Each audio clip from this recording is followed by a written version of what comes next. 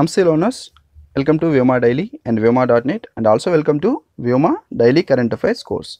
ఈ క్లాస్లో మనం అక్టోబర్ ఇరవై ఐదవ తేదీకి సంబంధించిన కరెంట్ అఫైర్స్ చూద్దాం. ఈ కరెంట్ అఫైర్స్ క్లాసెస్ని కనుక మీరు ప్రతిరోజు పొందాలంటే తప్పకుండా వేమా డైలీ యూట్యూబ్ ఛానల్ని సబ్స్క్రైబ్ చేసుకోండి. సబ్స్క్రైబ్ చేసుకున్నాక మీకు ఇలా పక్కనే ఒక బెల్ ఐకాన్ రావడం జరుగుతుంది. సో ఆ బెల్ ఐకాన్ మీద కనుక మీరు క్లిక్ చేసినట్టయితే ప్రతిసారి మేము కొత్త క్లాసెస్ అప్లోడ్ చేసినప్పుడు మీకు నోటిఫికేషన్ రావడం జరుగుతుంది. కాబట్టి తప్పకుండా వేమా డైలీ యూట్యూబ్ ఛానల్ని సబ్స్క్రైబ్ చేసుకోండి. సబ్స్క్రైబ్ చేసుకున్నాక పక్కనే ఉన్న బెల్ ఐకాన్ కూడా క్లిక్ చేయండి. సో ఈ కరెంట్ అఫైర్స్ క్లాసెస్తో పాటుగా మేము నోట్స్ కూడా ప్రొవైడ్ చేయడం జరుగుతుంది. సో ఆ నోట్స్కి సంబంధించిన లింక్ కూడా మేము ఈ వీడియో కింద డిస్క్రిప్షన్లో ప్రొవైడ్ చేస్తున్నాం. కాబట్టి ఆ లింక్ కనుక క్లిక్ చేసినట్టయితే మీరు ఈ నోట్స్ మొత్తం కూడా పీడిఎఫ్ ఫార్మేట్లో డౌన్లోడ్ చేసుకొని చదువుకునేదానికి అవకాశం ఉంటుంది. అదేవిధంగా మీరు వ్యూమా డాట్ నెట్లో కనుక వెళ్ళినట్టయితే అక్కడ కూడా ఈ కరెంట్ అఫైర్స్ మేము ఎప్పటికప్పుడు అప్డేట్ చేస్తూ ఉంటాం. కాబట్టి అక్కడ నుంచి కూడా మీరు ఈ కరెంట్ అఫైర్స్ మొత్తం కూడా చదువుకునేదానికి అవకాశం ఉంటుంది. అదేవిధంగా వ్యోమా డాట్ నెట్లో మీకు టీఎస్పీఎస్సీ ఎగ్జామ్స్ కానీ ఏపీపీఎస్సీ ఎగ్జామ్స్ కానీ లేటెస్ట్ అప్డేటెడ్ టెస్ట్ సిరీస్ కూడా మేము ప్రొవైడ్ చేయడం జరుగుతుంది. కాబట్టి వాటికి సంబంధించిన లింక్స్ కూడా మేము ఈ వీడియో కింద డిస్క్రిప్షన్లో ప్రొవైడ్ చేస్తున్నాం. కాబట్టి వాటిని క్లిక్ చేసి మీరు ఆ టెస్ట్ సిరీస్ కూడా ఫాలో అవ్వచ్చు. దాంట్లో మీరు కనుక చూసినట్టయితే latest updated current affairs test series కూడా మీకు అవైలబిలిటీ ఉంటుంది. కాబట్టి ఈ కరెంట్ అఫైర్స్ వీడియోస్తో పాటుగా మీరు ఆ కరెంట్ అఫైర్స్కి సంబంధించిన టెస్ట్ సిరీస్ కూడా ఫాలో అయినట్టయితే మీరు కాంపిటేటివ్ ఎగ్జామ్స్లో ఈ కరెంట్ అఫైర్స్ మీద అడిగే ప్రతి ఒక్క ప్రశ్నకు కూడా మీరు ఆన్సర్ చేసేదానికి అవకాశం ఉంటుంది. కాబట్టి వీటన్నిటి గురించి ఎవరైనా తెలియని వాళ్ళు ఉంటే తప్పకుండా తెలియజేయండి. అదేవిధంగా వీటిని ఈ వీడియోని మీరు చూసిన తర్వాత మీ సోషల్ మీడియా సైట్స్లో ఫేస్బుక్లో కానీ వాట్సాప్లో కానీ లేదా ట్విట్టర్లో కానీ లేదా ఇతర సోషల్ మీడియా సైట్స్లో కానీ తప్పకుండా షేర్ చేయండి. ఈరోజు కరెంట్ అఫైర్స్ చూసినట్టయితే మొదటిది నరేంద్ర మోడీకి సియోల్ శాంతి బహుమతి. మన దేశ ప్రధానమంత్రి అయిన నరేంద్ర మోడీకి సియోల్ జా- శాంతి బహుమతి ఇవ్వడం జరిగింది. సో ఇది ఇతనికి ఎందుకు ఇచ్చారంటే యాక్చువల్గా ఈ అంతర్జాతీయ సహకారం మరియు ప్రపంచ ఆర్థిక వృద్ధిని మెరుగుపరచడంలో ఇతను చేసిన కృషికి ఇతను ఇతను చేసిన సహకారానికి గాను ఇతనికి ఈ అవార్డు అనేది ఇవ్వడం జరిగింది. సో ఈ సియోల్ శాంతి బహుమతి అనేది యాక్చువల్గా పంతొమ్మిది వందల తొంభై సంవత్సరంలో ఈ సియోల్లో జరిగిన ఇరవై నాలుగవ ఒలింపిక్ క్రీడలు ఈ దాని యొక్క విజయం జ్ఞాపకార్థంగా దీన్ని పంతొమ్మిది వందల తొంభైవ సంవత్సరం నుంచి ప్రారంభించడం జరిగింది. సో అదేవిధంగా మనం చూసినట్లయితే ఈ సియోల్ శాంతి బహుమతి దీని యొక్క అవార్డు కమిటీ ఏదైతే ఉందో ఈ కమిటీ ధనికులు మరియు పేదల మధ్య ఈ సామాజిక అసమానతలు కానీ ఆర్థిక అసమానతలు అసమానతలు కానీ వీటిని తగ్గించడం కోసంగా మన దేశ ప్రధానమంత్రి అయిన నరేంద్ర మోడీ చేసిన కృషిని గుర్తించి ఈ అవార్డు కమిటీ మోడినోమిక్స్ అనే క్రెడిట్ కూడా ఇతనికి ఇవ్వడం జరిగింది. సో ఈ సియోల్ అనేది సౌత్ కొరియా యొక్క క్యాపిటల్. దీని యొక్క కరెన్సీ ఏంటి? సౌత్ కొరియా యొక్క currency South Korean won. So ఈ సియోల్ శాంతి బహుమతి రెండు వేల పదహారు సంవత్సరానికి గాను కాంగ్లోమిస్ గైనకాలజిస్ట్ అయిన డెనిస్ ముక్వేగేకి ఇవ్వడం జరిగింది. ఇతను డెమోక్రటిక్ రిపబ్లిక్ ఆఫ్ కాంగోకి చెందిన వ్యక్తి. ఇప్పుడు రెండు వేల పద్దెనిమిది సంవత్సరానికి గాను మన దేశ ప్రధానమంత్రి అయిన నరేంద్ర మోడీకి ఈ సియోల్ శాంతి బహుమతి అనేది అందించడం జరిగింది. సో దీన్ని ఎప్పటి నుంచి ఇస్తున్నారు? పంతొమ్మిది వందల తొంభైవ సంవత్సరం నుంచి దీనిని ఇవ్వడం జరుగుతుంది. నెక్స్ట్ వచ్చేసి ఫినో పేమెంట్స్ బ్యాంక్లో కొత్త ఖాతాలను తెరిచే నిషేధాన్ని ఆర్బీఐ ఎత్తివేసింది. సో ఈ పేమెంట్స్ బ్యాంక్స్ అనేవి మనకి చాలా ఇంపార్టెంట్. ఈ పేమెంట్స్ బ్యాంక్లో మొట్టమొదటిగా స్టార్ట్ చేసిన వాటిలో ఈ ఫినో పేమెంట్స్ బ్యాంక్ అనేది కూడా ఒకటిగా మనం చెప్పుకోవచ్చు. దీంట్లో యాక్చువల్గా పేమెంట్స్ బ్యాంక్ అనే దాంట్లో ఒక లక్ష కంటే ఎక్కువ డిపాజిట్ అనేది చేసేదానికి అవకాశం లేదు. ప్రస్తుతం ఆర్బీఐ కండిషన్స్ ప్రకారం. కానీ ఈ ఫినో పేమెంట్స్ బ్యాంక్ ఖాతాలు ఏవైతే ఉన్నాయో వీటిల్లో కొన్నిట్లో లక్ష రూపాయల కంటే ఎక్కువ డిపాజిట్లు ఉన్నాయని చెప్పేసి ఆ రిజర్వ్ బ్యాంక్ ఆఫ్ ఇండియా గుర్తించి ఈ ఫినో పేమెంట్స్ బ్యాంకు ఇకపైన కొత్త ఖాతాలను తెరిచే అవకాశం లేదని చెప్పేసి మే చివరి నుంచి ఈ కొత్త ఖాతాలను తెరవకుండా రిజర్వ్ బ్యాంక్ ఆఫ్ ఇండియా దానిపైన నిషేధం విధించడం జరిగింది. సో ఇప్పుడు ఆ నిషేధాన్ని రిజర్వ్ బ్యాంక్ ఆఫ్ ఇండియా ఎత్తివేసి ఇకపైన ఫినో పేమెంట్స్ బ్యాంకు కొత్త కస్టమర్లు కొత్త ఖాతాలని తెరుచుకోవచ్చని చెప్పేసి అవకాశం కల్పించడం జరిగింది. అదేవిధంగా మనం చూసినట్లయితే ఎయిర్టెల్ పేమెంట్స్ బ్యాంకు మీద కూడా ఇలాంటి నిషేధం విధించింది. ఆ నిషేధాన్ని జూలైలో ఈ రిజర్వ్ బ్యాంక్ ఆఫ్ ఇండియా ఎత్తివేయడం జరిగింది. సో మనం ఈ పేమెంట్స్ బ్యాంక్కి అదేవిధంగా కమర్షియల్ బ్యాంక్కి బ్యాంక్స్కి వీటి మధ్య వ్యత్యాసాలు తెలుసుకోవడం చాలా ఇంపార్టెంట్. వీటి గురించి మనల్ని ఎక్కువగా క్వశ్చన్స్ అనేవి అడుగుతూ ఉంటారు. సో ఈ పేమెంట్స్ బ్యాంక్స్ అనేవి మనం కనుక చూసినట్టయితే వీటిల్లో మ్యాక్సిమం అంటే అత్యధిక గరిష్టంగా లక్ష రూపాయలు మాత్రమే దీంట్లో జమ చేసుకునేదానికి ప్రస్తుతం ఈ ఆర్బీఐ పరిమితం చేయడం జరిగింది. అదేవిధంగా మనం కమర్షియల్ బ్యాంక్స్ చూసుకున్నదే అక్కడ మనం ఎంతైనా డిపాజిట్ చేసుకునేదానికి అవకాశం ఉంటుంది. అదేవిధంగా మీరు కమర్షియల్ బ్యాంక్స్ తీసుకున్నట్లయితే కమర్షియల్ బ్యాంక్స్లో వాళ్ళు సేవింగ్స్ అకౌంట్స్ ఇస్తారు. అదేవిధంగా కరెంట్ అకౌంట్స్ ఓపెన్ చేసుకోవచ్చు. అదేవిధంగా మీకు ఏటీఎం కార్డ్స్ ఇస్తారు. అదేవిధంగా మీరు క్రెడిట్ కార్డ్స్ కూడా పొందవచ్చు. కానీ ఈ పేమెంట్స్ బ్యాంక్స్కి వచ్చేసరికి ఈ పేమెంట్స్ బ్యాంక్లో మీరు లోన్స్ తీసుకునేదానికి అవకాశం లేదు. కమర్షియల్ బ్యాంక్స్లో అయితే మనం పర్సనల్ లోన్స్ కానీ హోమ్ లోన్స్ కానీ ఇలాంటి లోన్స్ తీసుకోవచ్చు. కానీ పేమెంట్స్ బ్యాంక్స్కి వచ్చేసరికి మీరు ఎలాంటి లోన్స్ ఎలాంటి రుణాలు తీసుకునేదానికి అవకాశం ఉండదు. అదేవిధంగా పేమెంట్స్ బ్యాంక్స్ మీకు క్రెడిట్ కార్డులను కూడా జారీ చేయడం జరగదు. అదేవిధంగా దీంట్లో కనుక మనం చూసినట్లయితే కరెంట్ అకౌంట్స్ అదేవిధంగా సేవింగ్స్ అకౌంట్స్ ఈ రెండు కూడా ఈ బ్యాంకుల్లో ఓపెన్ చేసుకోవచ్చు. మనం కమర్షియల్ బ్యాంక్స్లో ఎలాగైతే ఓపెన్ చేసుకుంటామో సేవింగ్స్ అకౌంట్స్ కానీ కరెంట్ అకౌంట్స్ కానీ అదేవిధంగా ఈ పేమెంట్స్ బ్యాంక్స్లో కూడా వీటిని ఓపెన్ చేసుకునేదానికి అవకాశం కల్పించడం జరిగింది. అదేవిధంగా మనం చూసినట్లయితే ఈ పేమెంట్స్ బ్యాంక్స్లో ఏటీఎం కార్డులు ఇస్తారు. అదేవిధంగా డెబిట్ కార్డులు. ఏటీఎం కార్డులే డెబిట్ కార్డులు. సో వీటిల్లో ఏటీఎం మిషన్లు కూడా ఉంటాయి. మిటి మినీ ఏటీఎం మిషన్స్. కాబట్టి ఈ డెబిట్ కార్డుని యూస్ చేసి మీరు ప్రీపెయిడ్గా ముందుగా దాంట్లో అమౌంట్ కనుక జమ చేసి ఉన్నట్టయితే దాన్ని డ్రా చేసుకునేదానికి అవకాశం ఉంటుంది. కానీ క్రెడిట్ కార్డులు మాత్రం ఇది ప్రొవైడ్ చేయడం జరగదు. అదేవిధంగా నెట్ బ్యాంకింగ్ సౌకర్యం ఉంటుంది మొబైల్ బ్యాంకింగ్ సౌకర్యం ఉంటుంది ఎలాంటి సేవల్ని మాత్రం ఈ పేమెంట్స్ బ్యాంక్స్ అనేవి ఏర్పాటు చేయడం జరుగుతుంది. వీటిలో కమర్షియల్ బ్యాంక్స్కి వీటికి మెయిన్ డిఫరెన్స్ ఏంటంటే కమర్షియల్ బ్యాంక్స్ మనకి రుణాలు ఇస్తుంది క్రెడిట్ కార్డులు కూడా కావాలంటే ప్రొవైడ్ చేస్తుంది. కానీ ఇక్కడ మనం చూసినట్లయితే పేమెంట్స్ బ్యాంక్స్ అనేవి రుణాలు ఇవ్వదు క్రెడిట్ కార్డులు ప్రొవైడ్ చేయదు. సో ఇది ఈ రెండింటికి వ్యత్యాసం అని మనం చెప్పుకోవచ్చు. ముఖ్యమైన వ్యత్యాసాలు.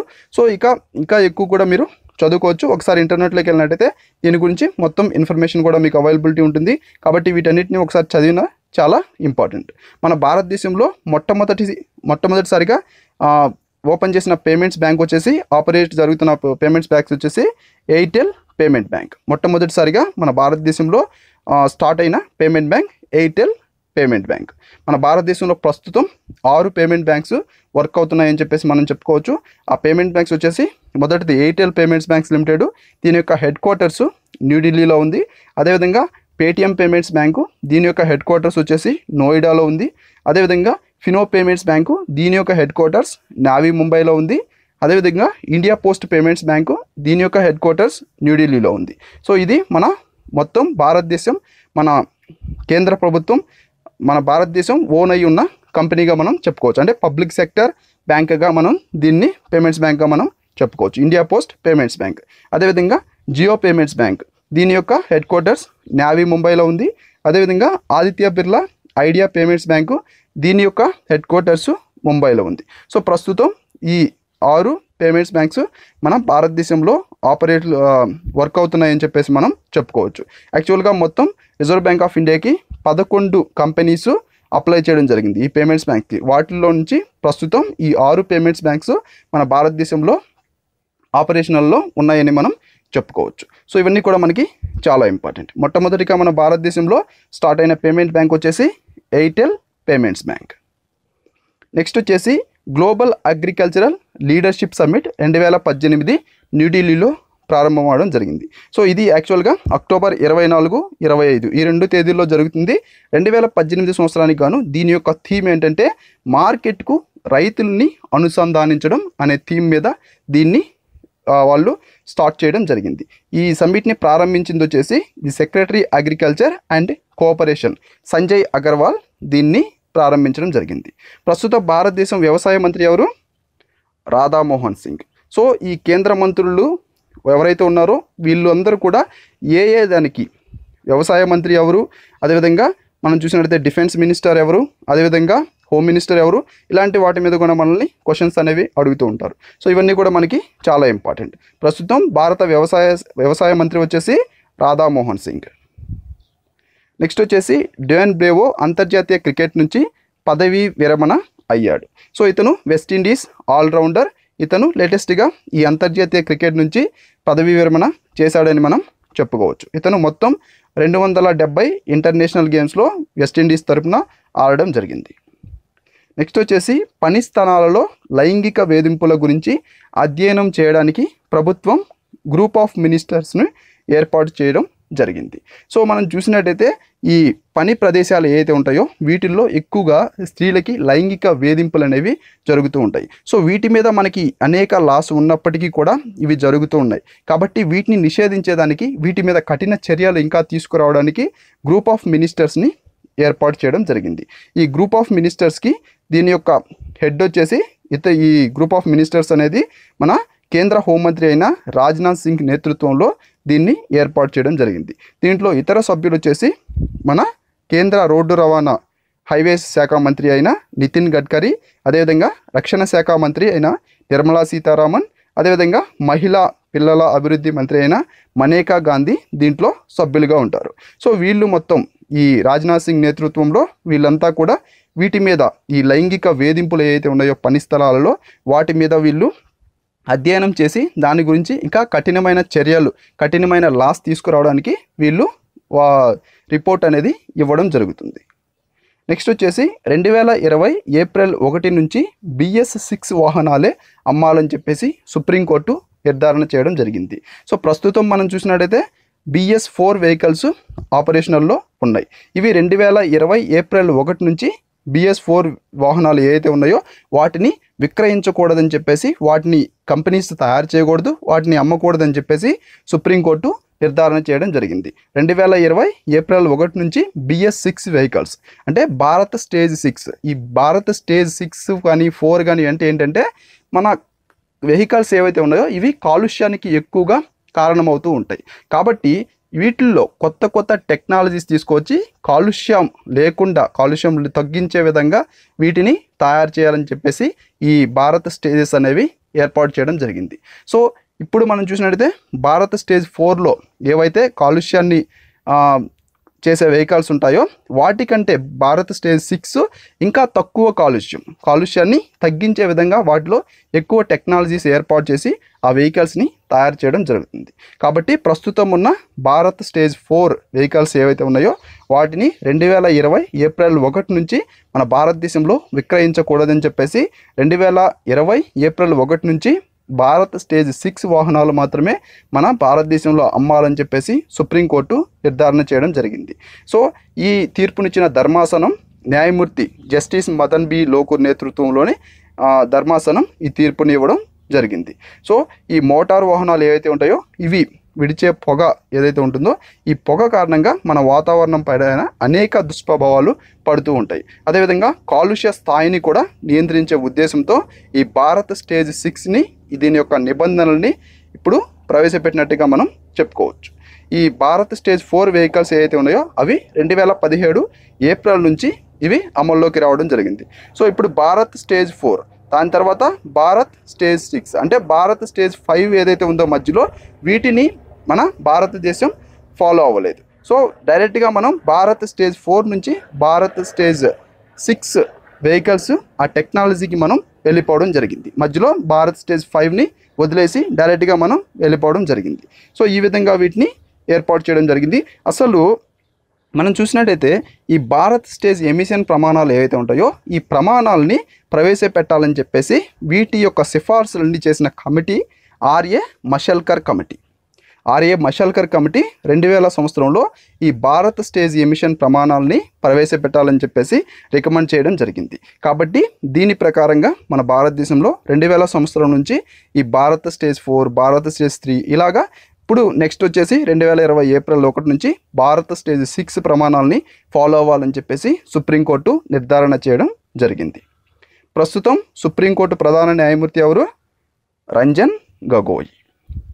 నెక్స్ట్ వచ్చేసి టెక్ రెండు వేల పద్దెనిమిది యునెస్కో ఎంజీఐఈపి మరియు ఆంధ్రప్రదేశ్ ప్రభుత్వం నిర్వహించనున్నాయి. సో ఇది టెక్ అంటే ఏంటంటే transforming education conference for humanity ఇది రెండు వేల పద్దెనిమిది సంవత్సరంలో మన భారతదేశంలోని ఆంధ్రప్రదేశ్లోని విశాఖపట్నంలో నిర్వహించాలని చెప్పేసి నిర్ణయించడం జరిగింది.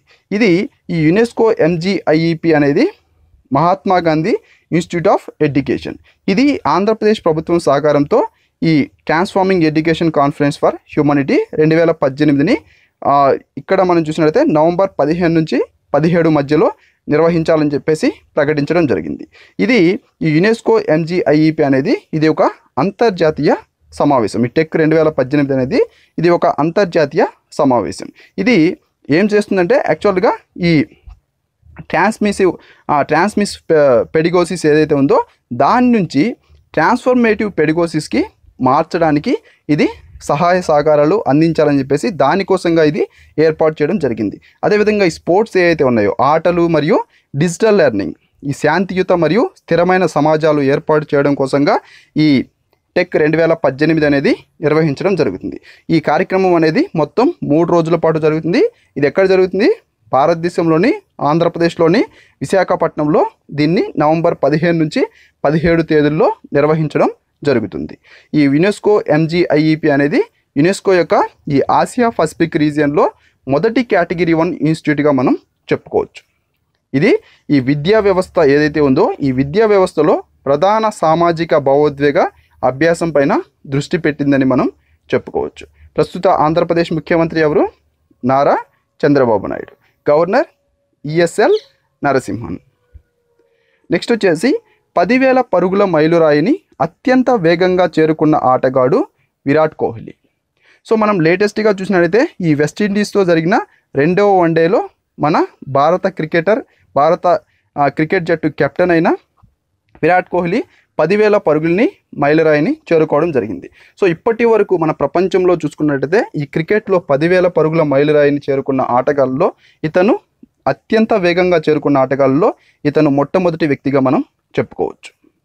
సో ఈ కోహ్లీ రెండు వేల రెండు వందల ఐదు ఇన్నింగ్స్లోనే పదివేల పరుగుల మైలురాయిని అందుకోవడం జరిగింది. సో ఇది ఈ వన్డేల్లోనే అత్యంత వేగంగా ఈ ఘనత సాధించిన ఆటగాడిగా మనం విరాట్ కోహ్లీని చెప్పుకోవచ్చు. ఇతని కంటే ముందు సచిన్ టెండూల్కర్ రెండు వందల యాభై తొమ్మిది ఇన్నింగ్స్లో ఈ రికార్డుని పదివేల పరుగుల రికార్డుని నెలకొల్పడం జరిగింది. సో ఆ రికార్డుని ఇప్పుడు విరాట్ కోహ్లీ బద్దలు కొట్టాడని మనం చెప్పుకోవచ్చు. అదేవిధంగా మనం చూసినట్లయితే ఒక ఏడాదిలో ఒక సంవత్సరంలో అత్యంత వేగంగా వెయ్యి పరుగులు చేసిన ఆటగాడిగా కూడా విరాట్ కోహ్లీ రికార్డు నెలకొల్పాడని మనం చెప్పుకోవచ్చు.